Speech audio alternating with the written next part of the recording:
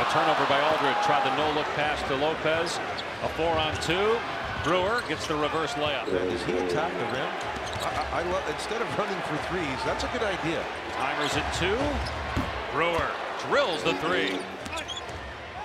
There's Brewer for three. That's big. Oh yeah. It's a six-point game with 2:10 on the clock. Brewer gets the steal. A huge defensive play by Brewer. A layup on the other end. He scored the last 12 for the A 7-0 Brewer run. Corey Brewer, the difference maker in the fourth quarter on both ends of the floor. Here's Right to Brewer. Yeah. And he got a good look, and he buries it. 21 points for Corey Brewer. The last 15 for Houston. Oh, And a steal by Brewer. Brewer with the jam.